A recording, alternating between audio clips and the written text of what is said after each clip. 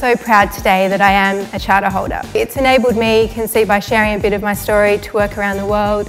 It's given me a strong ethical code, which is so important when you're working with clients. As I said, the custodian of other people's money, that ethical foundation is key, and CFA is all about that. It also made me feel very strong in my investment knowledge. I felt whilst it was a hard course to go through, I could have deeper investment conversations with clients. I could hold my own more when I was talking to my colleagues. But my favourite aspect is it's opened up a really wonderful professional network.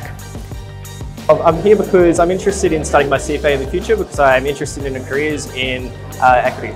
So I believe that the CFA ticket, when you finally get it, is a real competitive advantage in the industry and it's, it's really, it transfers across borders all around the world.